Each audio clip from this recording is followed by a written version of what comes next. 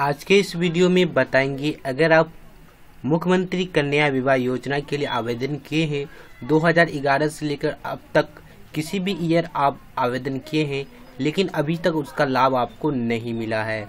तो उसके लिए क्या करना होगा, आज के इस वीडियो में आपको बताएँगे। उसके लिए ऑनलाइन रजिस्ट्रेशन स्टार्ट हो चुका है, जो ब्लॉक से अप्लाई किया गया, जिसके पास आरटीपीएस का रसीद है, रिसिप्ट तो वो ऑनलाइन आवेदन कर सकते हैं। याद रखिएगा पहले आपको आर आरटीपीएस काउंटर से करना होगा आवेदन। अगर आर आरटीपीएस काउंटर से करने के बाद भी अगर आपको अभी तक लाभ नहीं मिला है, तब आप ऑनलाइन इस वीडियो की मदद से कर सकते हैं। 2011 के बाद का आवेदन और अब तक का। किसी भी साल का आपने आवेदन किया है, लेकिन अब तक आपको लाभ नहीं मिला है। तो चलिए आज के इस वीडियो में जानेंगे उसके लिए ऑनलाइन कैसे करेंगे। तो चलिए मैंने आपको वीडियो को डिस्क्रिप्शन बॉक्स में एक लिंक दिया, उस लिंक पे क्लिक करेंगे। तो आप यहाँ पे इस वेबसाइट पे आ जाएँगे। यहाँ पे दिया गया है, मुख्यमंत्री कन्या विवाह योजना में भुगतान हेतु लंबित लाभुकों के पंजीकरण के लिए। यहाँ पे कुछ निर्देश दिए गए, जैसे आवश्यक जानकारी, आवेदक, आवेदन करने से पहले अपना आवश्यक जानकारी पढ़ लें। यहाँ पे क्या यह लिंक वैसे लाभुक के लिए दिया गया जिनको मुख्यमंत्री कन्या विवाह योजना का लाभ अभी तक नहीं मिल पाया है।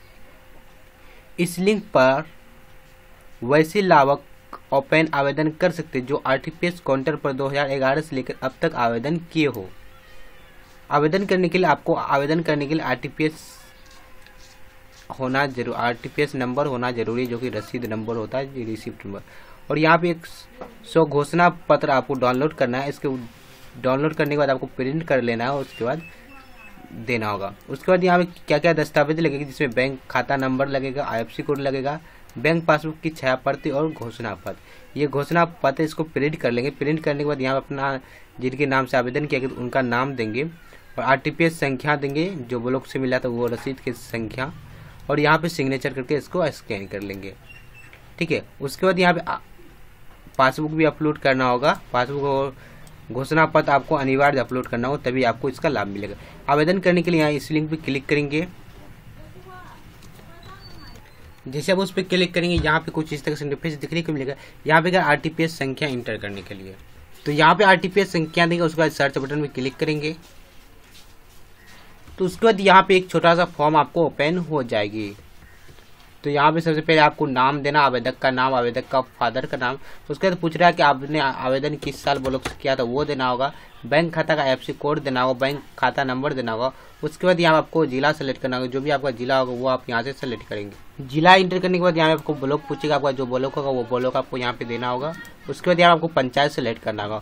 उसका जो घोषणा घोषणा पत्र आपने प्रिंट करके फिलअप करके स्कैन किया, उसको आठ सौ के भी होना चाहिए उसकी साइज़ उसको यहाँ पे चॉइस फ़ाइल पे क्लिक करके इसको आप यहाँ पे अपलोड कर सकते हैं। ठीक है, जहाँ भी आपका रखा अपलोड करेंगे। उसी तरह यहाँ बैंक पासबुक जो बैंक डिटेल आपने ऊपर में दिया, उसका बैंक पासबुक यहाँ पे देंगे। चॉइस फ़ाइल पे क्लिक करके उसको सिलेक्ट करेंगे।